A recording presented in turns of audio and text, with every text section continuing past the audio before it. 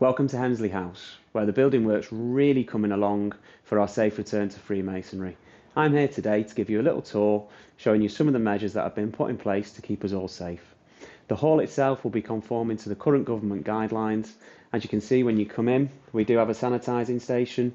There has been a specific risk assessment done by the hall, details of which will be on the wall when you come in. Access to the lower ground floor has now been improved with the installation of a stair lift making downstairs more inclusive. As you make your way around the hall, there are a number of sanitising stations at the passing point at the top and the bottom of the stairs and in each and every lodge room. As you can see, I'm in lodge room number one, which is set up under current guidelines for social distancing with tape marking out the spaces. The new bar at Hemsley House is near completion. It's now a much bigger space to aid social distancing for our safe return to Freemasonry.